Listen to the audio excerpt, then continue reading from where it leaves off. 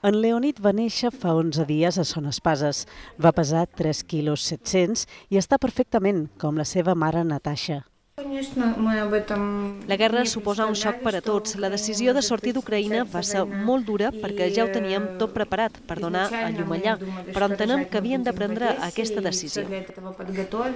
Cada dia envien fotografies i fan videocridades amb el pare, que ha hagut de quedar a Ucraïna com tots els homes d'entre 18 i 60 anys. Na Natasha, amb una altra filla adolescent i en Leonid, viuen a l'Hospital de Sant Joan de Déu, on hi ha 40 refugiats ucraïnesos. Ja havia estat aquí fa quatre anys, coneixia Mallorca, l'estil de vida, el seu agradable clima i sabia que si partia d'Ucraïna havia de ser cap a un lloc conegut. Respectar al màxim aquesta dignitat en situacions tan, tan delicades, però bueno, que a poc a poc puguin anar eh, recuperant part d'aquesta autonomia que han perdut, integrar-se en el barri, fer comunitat. La Creu Roja gestiona l'allotjament de 300 refugiats a les Balears i n'ha atès més de 1.000.